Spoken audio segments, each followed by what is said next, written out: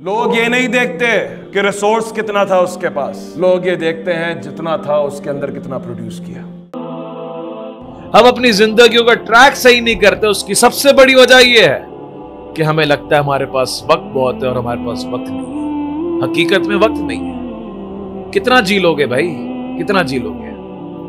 Queen Elizabeth सब कुछ था उसके पास। सारे चेकअप्स और बेस्ट मेडिकल फैसिलिटीज़ और चेकअप्स थे उसके। सौ नहीं क्रॉस कर सकी।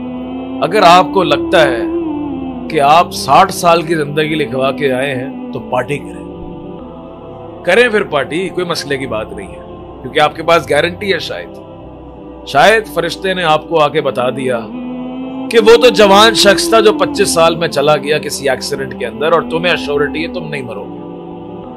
वो तो फला बीमारी के अंदर और वायरस के अंदर और कोविड के अंदर इस दुनिया चला गया, तुम नहीं जाओगे। तुम्हारी तो बड़ी ज़िंदगी पड़ी है अभी। क्या नहीं देखा अपने अपने इर्द गिर्द नज़र उठाकर? कि इंसान के वक्त का कुछ नहीं पता। ये वक्त का ही तो नहीं पता ज़िंदगी के अंदर। वक्त का नहीं पता। हर उरूज को एक जवाल है।